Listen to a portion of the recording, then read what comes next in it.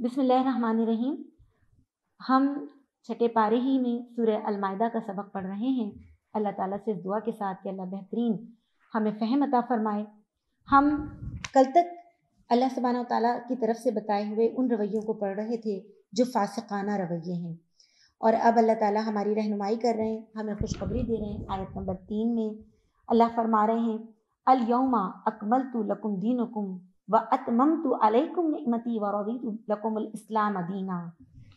अल्लाह ताला रहे तुम्हारे लिए दीन मुकम्मल कर दिया गया अल्लाह की तरफ़ से नेमत तमाम कर दी गई दीन इस्लाम को तुम्हारे लिए पसंद कर लिया गया गोया दीन इस्लाम के अंदर मुकम्मल मेरी और आपकी ज़िंदगी के लिए एक लाह अमल कानून और जबता और वो कानून और जबता जो बेहतरीन है वो मौजूद है गोया ये खुशखबरी है मेरे और आपके लिए मुझे और आपको इस बात पर फ़ख्र भी महसूस होना चाहिए, अल्हम्दुलिल्लाह कि हम मुसलमान हैं। इसके बारे में एक रिवायत ये भी मिलती है कि जब ये आयत नाजिल हुई तो यहूदी, यहूदियों ने जब इस आयत को सुना तो वो अपने बालों को नोच रहे थे और अपनी उंगलियाँ दांतों में दे रहे थे, गम गुस्से का शिकार थे और कहते थे कि अगर ये आयत हम पर नाजिल होती तो हम जश्न मनाते। क्योंकि उनका ख्याल ये था कि जो कुछ उन्हें दिया गया था, दुनिया की लीडरशिप भी और अल्लाह की तरफ़ से जो दुनिया में नाफिज करने वाला ज़िंदगी का निज़ाम, वही उनके लिए आखिर है और सारी दुनिया के लिए वही एक मॉडल है। लेकिन उनकी नाफरमानी की वजह से अल्लाह ताला ने उनसे ये एजाज़ छीन कर, उम्मत मुस्लिमा को ये एजाज़ और अपना पसंदीदा दीन दीन इस्लाम और दुनिया की लीडरशिप अता फरमा दी और साथ ही फिर हमें ये बता दिया कि इस दीन इस्लाम के अंदर जो हदूद क़यूद तुम पर नाजिल की गई हैं, अब तुम उसकी पाबंदी करो। बता दिया गया, फ़ेमिनिस्ट फ़ी मखमसतिन गैर मुतजानफ़िल इसम फ़िन गफ़ूर रहीम। कि अल्लाह की तरफ़ से तो हराम और हलाल मुतन कर दिया गया, लेकिन कोई अगर हालत इसतरार में मजबूर होकर कोई चीज़ खा ले, बगैर इसके कि गुनाह की तरफ़ उसका रुझान था तो बेशक अल्लाह मुआफ़ करने वाला और रहम फरमाने वाला है। सुरह बकरा में भी हम हालत इसतरार के बारे में पढ़ चुके हैं, आप लोगों को याद होगा कि अगर किसी इंसान की ज़िंदगी जान ख़तरे में हो, इतने दिन से वो भूख और प्यास को बर्दाश्त कर रहा हो, उसे कुछ खाने को ना मिला हो कि बस अब उसकी मौत वाक़ होने वाली है, इस हालत इस्तरार में अगर वो कोई एक आध लुकमा अपने आप को, अपनी जान को बचाने के लिए खा ले और उसका रुझान या उसकी रजा दिल की खुशनुदी इस मामले में शामिल ना थी तो अल्लाह यहाँ पर खुशखबरी दे रहे हैं कि फिर अल्लाह उसको मुआफ़ करेंगे और रहम फरमाएँगे। सवाल उठता है और उस वक्त भी उठा कि क्या चीज़ें हलाल हैं और क्या चीज़ें हराम। अल्लाह ताला ने उसका जवाब भी दे दिया और फरमा दिया, जिन शिकारी जानवरों को तुमने सधाया, जिनको खुदा के दिए हुए इल्म की बिना पर तुम शिकार की तालीम देते हो, वो जिस जानवर को तुम्हारे लिए पकड़ कर रखें, उसको भी तुम खा सकते हो। जैसे मिसाल के तौर पर, कुत्तों को इसलिए अगर पाला जाए कि उस कुत्ते के ज़रिए कोई शिकार पकड़ा जाएगा तो वो अगर पकड़ के लाता है कोई शिकार तो वो हलाल होता है। इसके हवाले से आप नबी करीम वसल्लम की सीरत में एक वाक़ भी मौजूद है। हज़रत अदी बिन हातिम से रिवायत है कि उन्होंने सवाल किया था नबी वसम से कि क्या मैं कुत्ते के ज़रिए शिकार कर सकता हूँ? तो आप नबी वसम ने फरमाया कि तुम कर तो सकते हो, लेकिन उस शिकार को ज़बह करते हुए अल्लाह का नाम ज़रूर ले लो। फिर अल्लाह ताला मुझे और आपको कुरान की इन्हीं आयात में बतकुल्लाह का हुक्म देते हैं। अल्लाह का कानून तोड़ने से डरो, अल्लाह का तकवा इख्तियार करो इन अल्लाह सरील हिसाब, अल्लाह ताला को हिसाब लेते कुछ देर नहीं लगती।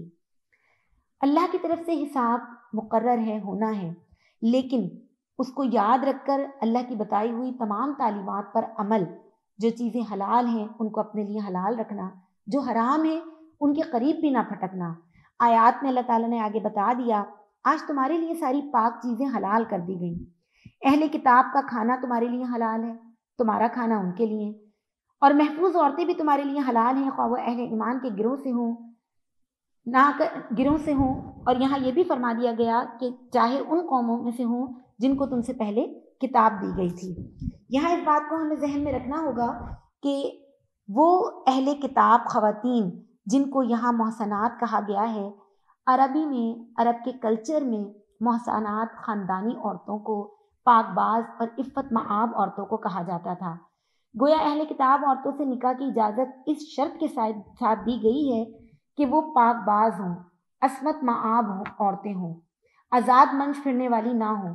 और यहाँ ये बात भी जहन में रहनी चाहिए कि इसी आयत के अगले हिस्से में अल्लाह ताला ये तंबी भी फरमा रहे हैं कि तुम उनके निकाह करो, उनके साथ और उनके महर अदा करो, उनके मुहाफ़ बनो और हरगिज़ आज़ाद शहवतरानी ना करो, चोरी छुपे, आशनाइयाँ ना करो। इस आयत से वाजह होता है कि अल्लाह ताला एक औरत और मर्द का जो रिश्ता है, पाकबाज रिश्ता, निकाह के साथ बंधा हुआ रिश्ता और महर की अदायगी इबाद की अदायगी के साथ मुहाफ़त के साथ उसको तो जायज़ करार देते हैं। लेकिन जो फ्रेंडशिप आज हमारे इस सोसाइटी में राइज है या जो उस ज़माने में भी चोरी छुपे ताल्लुक़ और दोस्तियाँ हुआ करती थी, वो किसी भी सूरत में अल्लाह की तरफ़ से जायज़ नहीं है। अल्लाह ताला अगली आयत में फरमा रहे हैं, जो किसी, अगर किसी ने ईमान की रवश पर चलने से इनकार किया तो उसका सारा कारनामा ज़िंदगी ज़ाया हो जाएगा, आखरत में वो दिवालिया हो जाएगा। हम इन बातों को शायद अपनी सोसाइटी के फ़ैशन या ज़रूरियात या एक तरह से हम ये समझ के कि सब कर रहे हैं तो हम भी करें, अपने लिए जायज़ समझ लेते हैं, लेकिन इन आयात में कितनी सख्त तंबी है अल्लाह की तरफ़ से कि आखरत में वो दिवालिया हो जाएगा। उसके बाद की आयात में अल्लाह ताला ने ईमान लाने वालों को वज़ू का हुक्म दिया, वज़ू के फ़रज़ बयान किए गए, जो कि यहाँ वाजे हैं। अल्लाह ने फरमाया, अपने मुँह और हाथ कोनियों तक धो लो, सरों पर हाथ फेर लो, पाँव टखनों तक धो लिया करो। लेकिन आप नबी करीम वसल्लम की सुन्नत के मुताबिक मुँह धोकर, कुल्ली करना, नाक साफ़ करना भी वज़ू की सुन्नतें हैं और वज़ू इन तमाम सुन्नत और फ़रज़ को अदा करके होता है। अल्लाह ने यह भी बता दिया कि अगर पानी दस्तियाब ना हो, लेकिन तुम्हारे नापाकी का अगर वक्त आ जाए, किसी भी एतबार से जो गसल नजाबत की ज़रूरत पेश आ जाए या रफ़ हाजत करके आए हो तो अल्लाह ने फरमाया कि फिर तुम तयम कर लो। और वो कैसे? उसका तरीक़ा भी बता दिया गया कि पाक मट्टी से काम लो, बस उस पर हाथ मारकर अपने मुँह और हाथों पर फेर लिया करो। अल्लाह तुम पर ज़िंदगी को तंग करना नहीं चाहता, मगर वो चाहता है कि तुम्हें पाक करे और अपनी नेमत तुम पर तमाम कर दे। ये एक मेरे और आपके लिए नफसियाती इलाज है। रूहानी पाकिजगी। अल्लाह सुबहाना ताला पाकिजगी को, अल्लाह ताला तहारत को, सफ़ाई को मेरे और आपके लिए कितना नागजीर समझते हैं। इस बात को समझने की ज़रूरत है। इंसान जिस रब के हुजूर खड़े होना जा रहा है, उस रब की बड़ाई और किबरियाई का भी उसको शौरी तौर पर अदराक और वो अपने आप को पाक करके, अपने आप को बिल्कुल गुनाहों से आलूदगियों से, अपनी ख्यालात और अपनी सोचों और अपने दिल में उठने वाली सारी ख्वाहिशों को भी पाक करके अपने रब के हुजूर हाजिर होने की तैयारी करे। और दूसरी तरफ़, ये सफ़ाई का निस ईमान होना। आज मौजूदा दौर में करोना वायरस की जो सूरत हाल और पूरी दुनिया में मेरे और आपके लिए इस्लामी तहारत के, नज़ाफ़त के जो आदाब, अब गैर मुसलमान भी इख्तियार कर रहे हैं और एक दूसरे को ताकीद कर रहे हैं, ये इस बात की बहुत बड़ी गवाही है कि अल्लाह सुबहाना ताला ने मेरे और आपके लिए जो ये निज़ाम रखा था हरत का, पाकिजगी का, पाकी का, वो बेस्ट ऑफ़ द बेस्ट है। आगे अल्लाह ताला ने बनी इसराइल को भी याद दिलाया कि जो नेमत तुमको हमने अता की, उसका ख्याल रखो और उस अहद पैमान को ना भूलो जो अल्लाह ने तुमसे लिया था। अल्लाह ने बनी इसराइल से या यहूदियों से क्या अहद लिया था, मुझे और आपको पता ही है कि अल्लाह ताला ने उनको अपने दीन, अपने अहकाम नाजिल करके फरमाया था कि वो अल्लाह की खातिर रास्ते पर कायम रहने वाले और इंसाफ की गवाही देने वाले बने। अल्लाह के दिए हुए निज़ाम को नाफिज करने वाले बने। लेकिन फिर हमें क्या नज़र आता है? अल्लाह फरमाते हैं कि उनसे जो वादा किया गया था, उन्होंने उस वादे के ख़िलाफ़ किया, आयात को झुटलाया, अब वो दो में जाने वाले हैं। अल्लाह ताला उसके बाद, यहूदियों का रवैया याद दिलाने के बाद अहले ईमान को पुकारते हैं और फरमाते हैं, ए लोगो, जो ईमान लाए हो अल्लाह के उस एहसान को याद करो जो उसने अभी हाल ही में तुम पे किया, जबकि एक गिरोह ने तुम पर दस्तराजी का इरादा कर लिया था, मगर अल्लाह ने उनके हाथ तुम पर उठाने से रोक दिए। यहाँ पर हमें हज़रत अब्दुल्ला इब्न अब्बास की रिवायत से इस आयत का पस मंज़र पता चलता है। आप नबी करीम सल्लल्लाहु अलैहि वसल्लम की दुश्मनी में यहूद इतने बढ़ गए थे कि चाहते थे कि आपको किसी तरह नुकसान पहुंचाएँ और आपके ऊपर ईमान लाने वालों को भी। तो उन्होंने बाकायदा ये प्लानिंग की कि आपको दावत पर खाने की बुलाया जाए और खाने में जहर मिला दिया जाए, उनकी साजिश, उनकी तदबीर अल्लाह सुबहाना ताला देख रहे थे।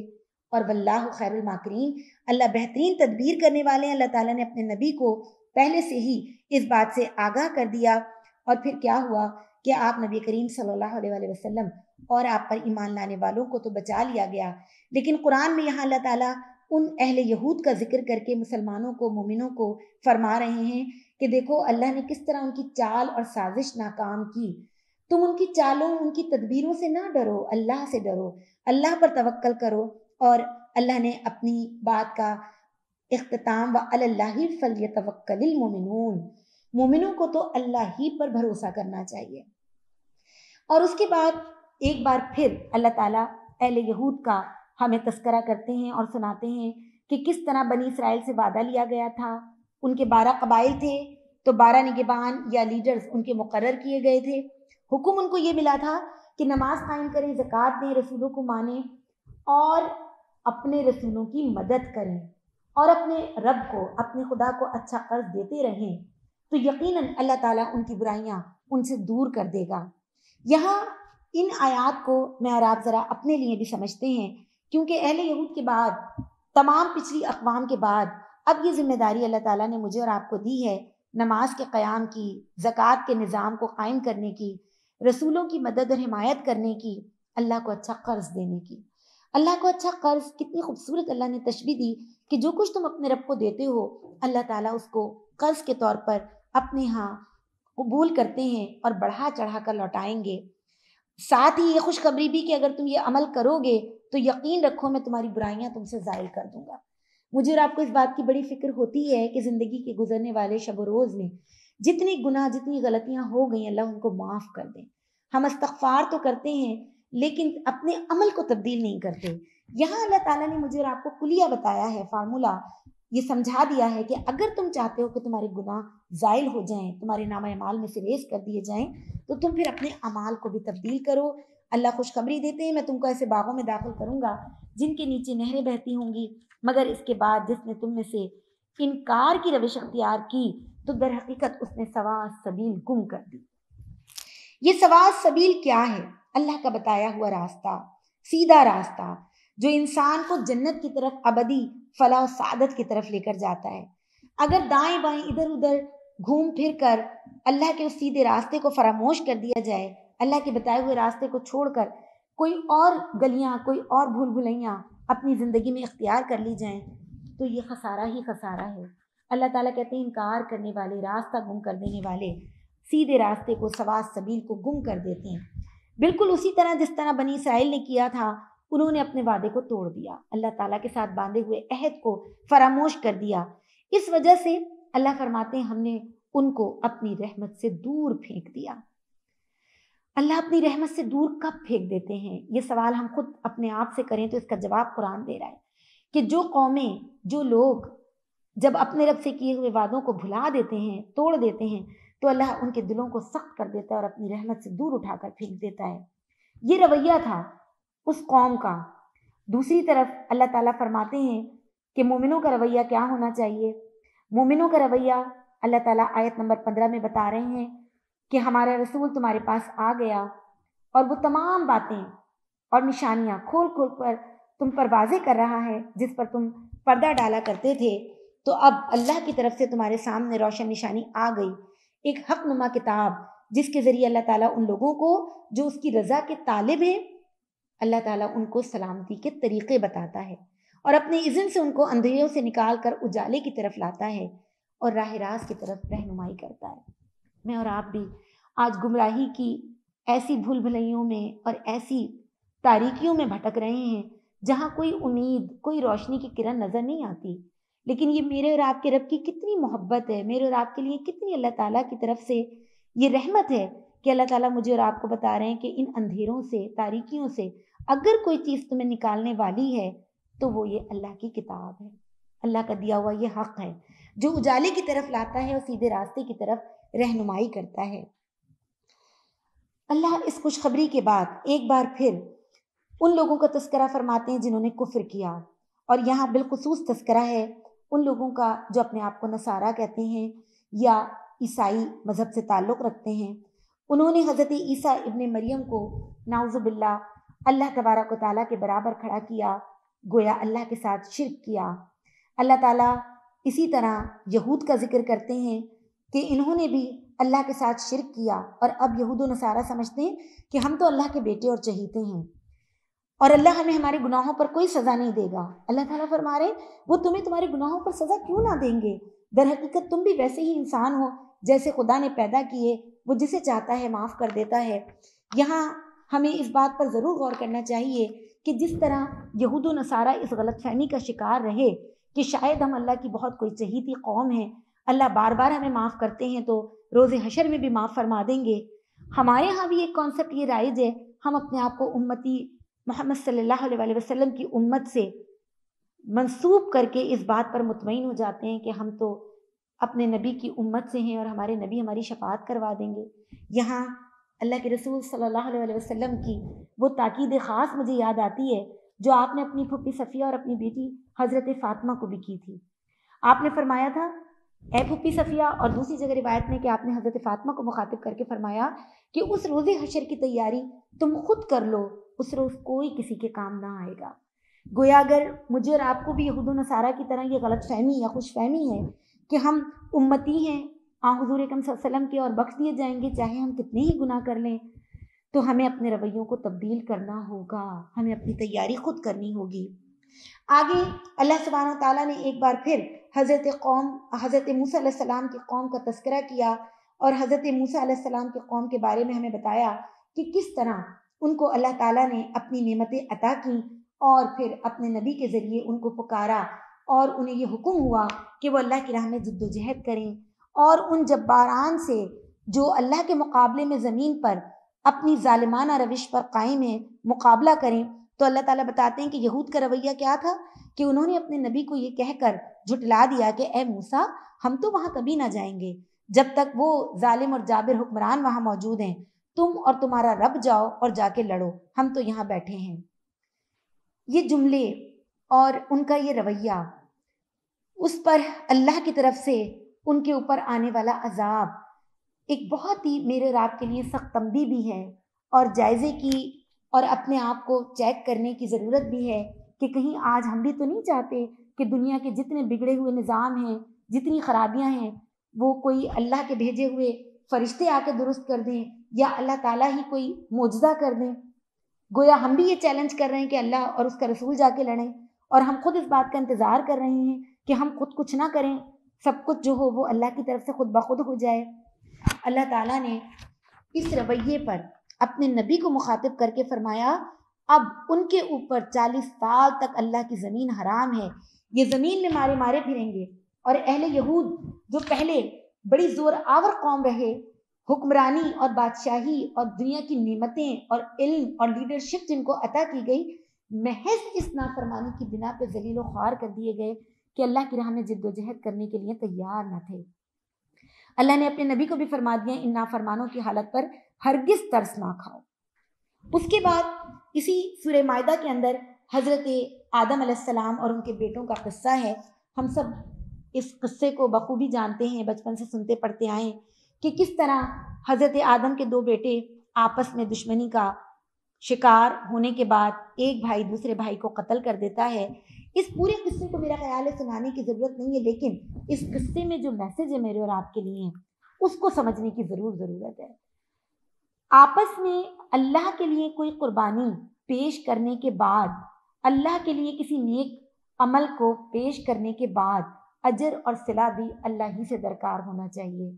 हम महज इसलिए आपस में अल्लाह के बंदे हसद या रकाबत का शिकार ना हो जाएँ कि मैं पीछे रह गया हूँ और दूसरा जो है वो आगे निकल गया है। या जो कुर्बानी किसी की कबूल कर ली गई है, मेरी नहीं की गई है तो क्या मेरी और आपकी नीयत का खोट, मेरे और आपके अंदर ये सोच मौजूद थी कि ये कुर्बानी मेरी इसलिए कबूल कर ली जाए कि मेरी भी वाह हो जाए? और फिर हसद, रकाबत और वो रवैया कि जिसमें अल्लाह की नाफरमानी, मुनाफरत इतनी हद तक बढ़ गई कि अल्लाह ताला ने तो इंसानी जान का एहतराम हम पर लाजिम किया, लेकिन हमें क्या नज़र आ रहा है इस किस्से में कि वो भाई खुद बड़ी आसानी से अपने भाई को कत्ल कर देता है और फिर खुद तासुफ से हाथ मलता है कि मैं तो एक परिंदे और कव्वे जैसा भी ना हो सका और अपने किए पर पछताता है। यहाँ अल्लाह ताला फरमा रहे हैं कि हमने ज़मीन में फसाद फैलाने वालों और ज़मीन में एक इंसान के दूसरे कत्ल, एक इंसान के दूसरे इंसान के कत्ल को हराम करार दिया था, उस कौम के लिए भी और आज हमारे लिए भी। लेकिन अगर उस ज़माने में भी किसी ने अल्लाह ताला के इस हुक्म पर अमल नहीं किया, और आज भी अगर एक इंसान किसी दूसरे इंसान को इसलिए कत्ल कर देता है कि उसका अपना ज़ाती कोई मफाद था या मुनाफरत में, नफ़रत में वो हद से बढ़ गया था तो अल्लाह ताला ने यहाँ मुझे और आपको तंबी की है कि एक इंसान का कत्ल गोया तमाम इंसानियत का कत्ल है। और एक जान का बचा लेना भी गोया तमाम इंसानों की ज़िंदगी को बचाने के बराबर है। हमें इस बात को समझना होगा कि हमारे लिए एक दूसरे के हकूक़, बंदों के हकूक़, जान, इज़्ज़त, आबरू, माल, हर एक हम, हमारे लिए दूसरों की एक अमानत है, जिसका हमें एहतराम करना है, जिसको हमें ज़ाया नहीं होने देना। उसके बाद अल्लाह ताला अगली आयत में फरमाते हैं कि जो लोग अल्लाह और उसके रसूल से लड़ते हैं और ज़मीन में इसलिए तकदो करते हैं कि फसाद बर्पा करें तो उनकी सज़ा ये है कि वो कत्ल किए जाएँ, सूली चढ़ाए जाएँ, या उनके हाथ और पाँव मुखालिफ समतों से काट डाले जाएँ, या वो जिला वतन कर दिए जाएँ। यहाँ इस बात को समझने की भी ज़रूरत है कि ज़मीन में फसाद कैसे बर्पा होता है। ज़मीन अल्लाह की है। ज़मीन का इंतज़ाम जिन लोगों की ज़िम्मेदारी है, चाहे वो हुक्मरान हो, चाहे वो किसी भी सतह के ज़िम्मेदार हों, अगर वो ज़मीन में फसाद बर्पा करते हैं, अल्लाह और उसके रसूल के कानून और ज़ाब्तों को अप्लाई नहीं करते, अल्लाह ने जो हुकूमत का निज़ाम बना के दिया उसके मुताबिक हुकूमत कायम नहीं करते, या उसके बलखलाफ या बरअक्स अपनी मनमानी करते हैं तो अल्लाह ताला फरमाते हैं कि जिस तरह फितरत अपने एक निज़ाम पर चल रही है, दुनिया में अल्लाह की ज़मीन भी अल्लाह के बताए हुए तरीके के मुताबिक तो पुरसकून और अमन की हालत में रहेगी। लेकिन अगर अल्लाह के बताए हुए तरीके के बरखलाफ कोई और तरीका अप्लाई किया जाएगा तो ये फितरत का एक असूल है कि बिगाड़ पैदा होता है, ख़राबी पैदा होती है, इसी तरह ज़मीन में भी फसाद और ख़राबी पैदा हो जाएगी। और फिर ऐसे लोग जो ज़मीन में फसाद और ख़राबी पैदा करने वाले हैं उनकी सज़ाएँ अल्लाह ताला ने यहाँ मुकर कर दी। आगे ईमान लाने वालों को अल्लाह ने फरमाया, अल्लाह से डरो और उसकी जनाब में बादियाबी का ज़रिया तलाश करो और उसकी राह में जद्दोजहद करो। अल्लाह से डरना भी है और अल्लाह की राह में बादियाबी के लिए, अल्लाह के फजल को तलाश करने के लिए कोशिश करनी है, लेकिन साथ ही वह जाहिदूफी सबीली ही अल्लाह के रास्ते पे भी जिद्दोजहद करनी है, तब उम्मीद की जा सकती है, ला अल्लाह तुफलहून कि तुम्हें फलाह या खैर भलाई अता होगी। ये जिद्दोजहद क्या है? मौलाना मदूदी रहमत ने जाहिदू का लफ्ज़ जिद्दोजहद के मायनों में रखा, लिखा है और फरमाया है कि जिद्दोजहद असल में मुजाहिदा है, कोशिश है। अल्लाह के रास्ते पे की जाने वाली स्ट्रगल। और ये मुख्तलिफ़ किस्म मुख्तलिफ़ तरीक़ों से होती है और ये जिहाद या जिद्दोजहद हाथ से भी होगी, ज़बान से भी होगी, कलम से भी होगी अपने नफ्स के साथ भी होगी और जिहाद पर कताल यानी तलवार उठाकर मैदानी जंग में भी होगी। गोया अल्लाह का हर ईमान लाने वाला बंदा, जो अल्लाह की राह में जद्दोजहद करता है, उसको ये खुशखबरी दी गई कि उसके लिए कामयाबी मुमकिन हो सकती है। इसके बरस जो लोग कुफर का रवैया अख्तियार करेंगे, उनके कब्ज़े में सारी ज़मीन की दौलत भी आ जाए और वो उसको फिदिये में अल्लाह के हुजूर पेश कर दें, तब भी रोज़ क़यामत अल्लाह के अजाब से ना बच सकेंगे। अल्लाह तज अल्ला मिनहुम। अल्लाह ताला हमें उन लोगों में शामिल ना करे। आगे अल्लाह ताला ने चोर की या चोरी करने की सज़ा जो मुकर की, हाथ का काट देना, यहाँ इस बात को समझने की भी ज़रूरत है कि अल्लाह ताला की तरफ़ से मुकर की गई सज़ाएँ, ताज़ीरात या जो अल्लाह की तरफ़ से हद लगती है, उसके पीछे भी एक हिकमत है। और वो हिकमत क्या है? सोसाइटी के अंदर अगर कुछ लोग किसी गलत काम का इरतकब करते हैं, कोई जुर्म करते हैं और उन्हें वो सज़ा दे दी जाए जो अल्लाह की तरफ़ से मुकर है।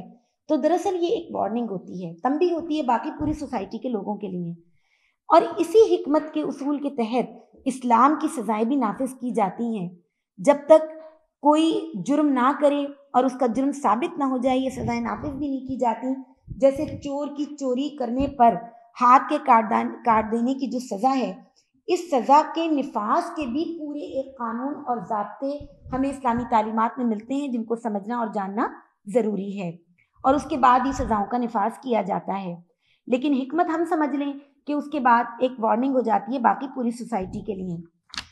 इसके बाद हुक्म हुआ कि ए नबी, ये जो इस वक्त अहले यहूद नसारा हैं, इनकी चिलत फिरत, इनकी भाग दौड़ आपको किसी रंज में, गम में मुबतला ना करे इसलिए कि ये लोग जो कुछ कर रहे हैं और जो फितने ये उठा रहे हैं, अल्लाह की गिरफ्त से ये बच नहीं सकेंगे। उस दौर में भी अल्लाह की गिरफ्त उन पर आनी थी और आकर रही। और आज के लिए भी अल्लाह की फितरत क़ानून यही है, अल्लाह की सुन्नत यही है कि जो लोग अल्लाह के मुकाबले पे खड़े होकर अल्लाह उसके रसूल और दीन इस्लाम के ख़िलाफ़ चाले चलते हैं, अल्लाह ने उनके लिए ये फ़ैसला सुना दिया, लहम फिल दुनिया खजी वलहम फिल आखिरती अजाब अजीम। कि उनके लिए दुनिया में भी रसवाई है और आखरत में भी सख्त सज़ा है। उसके बाद अल्लाह ने उनके मज़ीद रवैयों की तरफ़ निशानदही की। ये झूठ सुनने वाले, हराम माल खाने वाले हैं। गोया मुझे और आपको एक बहुत ही अहम चीज़ की तरफ़ इशारा किया गया कि हमारी ज़िंदगियों में झूठ ना हो। मोमिन सब कुछ हो सकता है, लेकिन झूठा नहीं हो सकता। यानी मोमिन अल्लाह के अहकाम की पैरवी करने वाला अपनी गुफ्तगु में गलत बयानी और झूठ इस्तेमाल नहीं करता। हराम माल नहीं खाता। ये रवैया तो उन यहूद नसारा का था, जिन्होंने अल्लाह और उसके रसूल के ख़िलाफ़ अल्लाह में बगावत बुलंद किया था। आगे की आयात में हमने जितना सबक देखना है सूर्य अलमायदा का, अल्लाह ताला ने बार बार इस बात को दोहराया है कि जो अल्लाह ताला की तरफ़ से नाजल करदा अहकाम और क़ानून और जबते अल्लाह ताला ने दिए हैं, अगर उनके ऊपर कोई अमल नहीं करेगा तो वही काफिर है, वही जालिम है वही फासिक है। सूर्य मायदा की आयत नंबर 44 से लेके आयत नंबर 47 तक इस बात को तीन दफ़ा दोहराया गया है कि अल्लाह के दिए हुए आयात और अहकाम की रोशनी में कानून और जबते जो मुकर नहीं करता, जो इंसाफ नहीं करता, जो अल्लाह के बताए हुए कानून के मुताबिक फ़ैसला नहीं करता तो उनको अल्लाह ताला जालिम, काफिर और फासकीन में शुमार करेगा। अल्लाह की तरफ़ से ये इंतहाई बड़ी तंबी है जिसको हमने समझना है।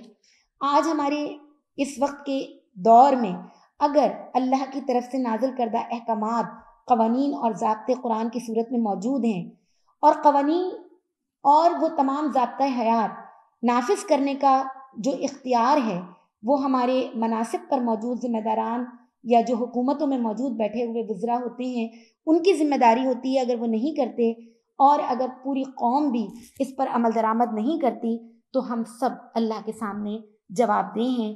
अल्लाह ताला हम सबको ालमीन फासकीन और काफिरों में शुमार होने से बचा ले।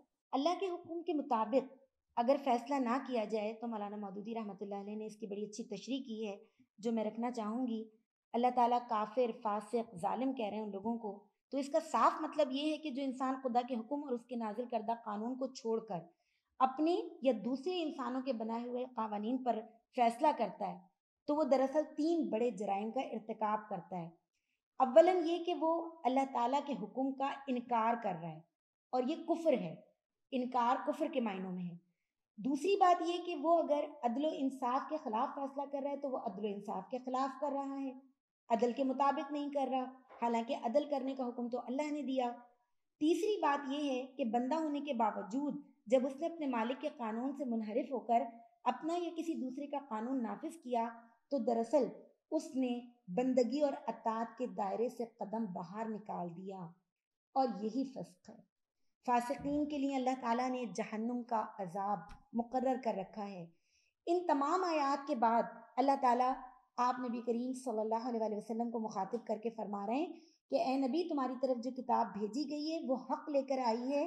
अल किताब यानी वो किताब, वो हुक्म जो अल्लाह के पास से यहाँ इस दुनिया में अल्लाह के बंदों के लिए आया है, ये उसकी तस्दीक करती है, ये उसकी मुहाफ़ और निगेबान है। इसका मतलब ये हुआ कि ये एन अल्लाह का हुक्म है। लिहाजा तुम खुदा के नाजिल करदा कानून के मुताबिक लोगों के मामला का फ़ैसला करो और जो हक तुम्हारे पास आया है, उससे मुँह मोड़ कर इन लोगों की ख्वाहिशात की पैरवी ना करो। हमने तुम्हें से हर एक के लिए शरीयत मुकर कर दी है। अब हमारा काम है, अल्लाह के बंदों का काम ये कि अल्लाह की तरफ़ से जो शरीयत मुकर कर दी गई है, बस उसी शरीयत की पैरवी करें, अपनी ख्वाहिशात या दुनिया वालों की ख्वाहिशात की पैरवी ना करें। इन आयात के हवाले से नबी सल्लल्लाहु अलैहि वसल्लम की एक बहुत ही अहम हदीस, जिसका मैं मफहम यहाँ रखूँगी कि आज के दौर पे जो हालात मुझ पर और आप पर या पूरी दुनिया के ऊपर नज़र आ रहे हैं, कुरान ने इस बात की खबर हमें बहुत पहले दे दी थी कि जब अल्लाह के कानून के मुताबिक फ़ैसला नहीं किया जाएगा, जब अल्लाह की किताब और अल्लाह की रज़ा के मुताबिक अदल नहीं किया जाएगा तो अल्लाह ताला दुनिया में ऐसी वबाएँ, ऐसे अमराज भी पैदा करेगा जिससे इज्तमाही अमवात होंगी, जिससे लोगों के ऊपर जालिम और जाबिर हुक्मरान मुसलत होकर जुल्म और जबर का तूफ़ान भी ढा देंगे। आज ये सारी चीज़ें मेरे और आपकी आँखों के सामने हैं तो मैं और आप इस हवाले से ज़रूर सोचने वाले हों और अपने अमल, अपने रवैयों की तब्दीली और असलाह भी करने वाले हों। व आखिर दवाना अनिलहमदिल्ला रबालमीन